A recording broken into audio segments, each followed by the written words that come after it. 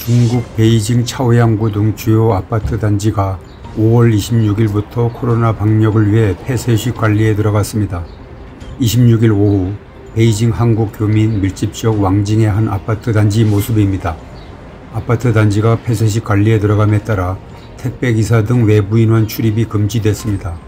단지 주민들도 출입증과 공강코드, 등기 체온 검사 등의 절차를 거쳐야 출입이 가능합니다. 문전 택배 배송이 금지됨에 따라 주민들은 온라인 주문 물건을 아파트 단지 출입문 밖에 설치된 거치대 선반에서 직접 찾아와야 합니다. 택배 진입이 중단되자 아파트 출입구 앞 인도 거리는 화물 집화장처럼 변했습니다. 거리에 택배 물건들이 어지럽게 널려 있습니다. 택배 기사들이 인도에 앉아 점심을 먹는 모습도 눈에 띕니다. 2020년 우한 사태 직후인 2월과 3월 베이징의 풍경이 다시 재현된 것 같습니다. 바쁜 택배기사들을 위해 간단한 점심거리를 팔기도 합니다. 아파트 출입구 앞에 택배 물건을 거치하는 선반이 설치되어 있습니다.